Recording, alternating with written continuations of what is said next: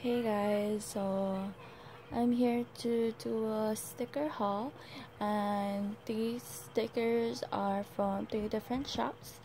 So this is what they came um, came with. So let's get started. First shop that I'm gonna um, show you is from Fleur de Lis Planners and this is what I got so it came with this black cardboard sandwich in between. So what I got was her finance sheet. So you got the rent house rent the car saving bag um, electric phone TV credit cards water and I don't know what that is. Oh insurance. Car insurance pretty much and then a few other things in the bottom. I got two of those. Then I got um, three sheets of the chevron stripes um, border thing. And as you can see I already used one up here. Okay.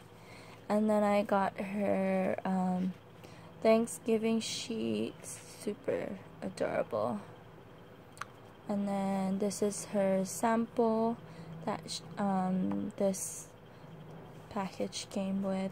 This is actually my third order from her. Um, but yeah I will show you that too in a bit. And then I got two sheets of this um, build to paper thing. And then I got a sheet of her laundry comes in four different colors. Pretty cute. And that is all I got from her. Now I ordered um, from Little Miss Stickers and this is my first time ordering from her. Actually I was always um, you know I've ever since I started um, getting stickers from on Etsy, I was always or ordering from Fleur de because her stickers are cheap. So, pretty much, um, yeah, this is the second shop. So this is the um, sample that she gave me. So like a December kind of um, sample sticker sheet.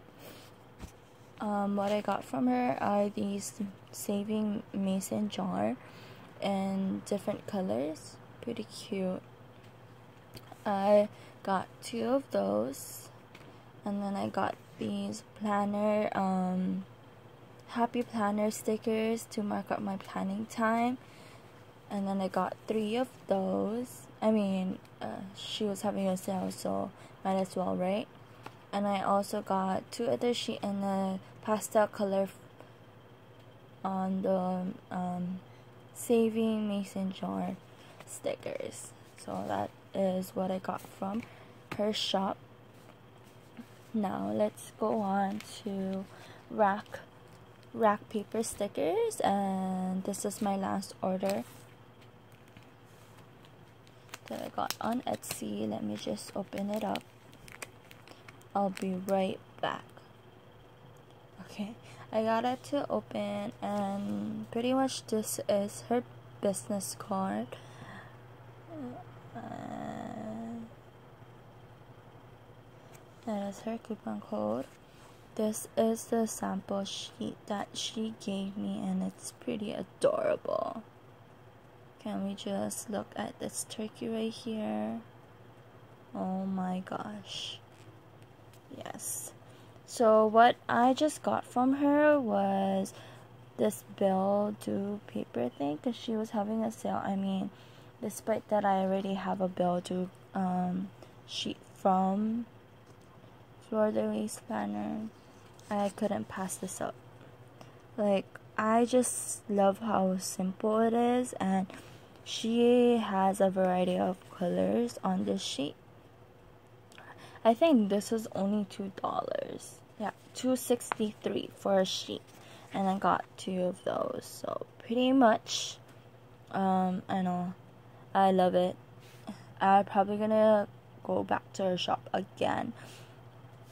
I mean, look at these. These are so adorable. I just wish that her um her logo on here is a stick a sticker so I can put it on my planner so I can order more stuff from her. But it's alright. so that is it. I hope you guys enjoyed this um, planner haul. I mean, not planner haul, sticker haul. And I will see you guys soon. Bye.